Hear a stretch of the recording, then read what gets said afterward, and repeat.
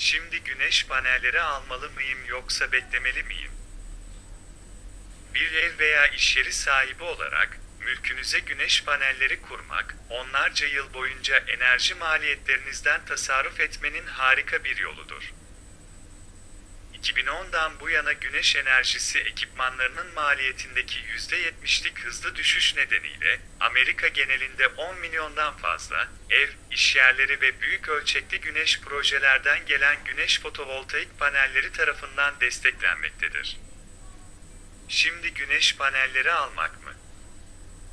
Yoksa fiyatlar daha da düşene kadar beklemek mi daha iyi? Güneş panelleri ucuzlar mı? 2000 yılında watt başına 12 doların üzerinde olan fiyatların 2019'da watt başına ortalama 3.82 dolara kadar düştüğü göz önüne alındığında bu adil bir soru.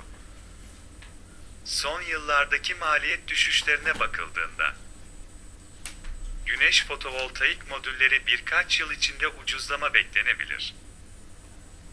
Gerçekten de ithal güneş enerjisi ekipmanlarındaki 2018 fiyat tarifeleri gibi diğer bazı engellere rağmen son 20 yılda fiyat eğrisi düşüyor.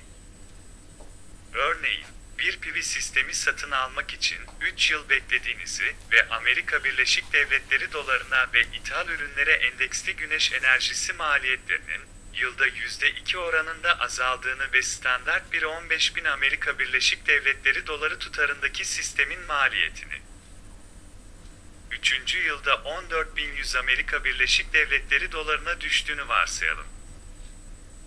Beklediğiniz her yıl için güneş enerjisi kurulum maliyetlerinden 300 dolar tasarruf edersiniz. Ancak ilk yıldan başlayarak kurulumun ömrü boyunca güneş enerjisinin size ne kadar tasarruf sağlayacağı seçeneğini düşündünüz mü? Devamını internet sayfamızdan okuyabilirsiniz.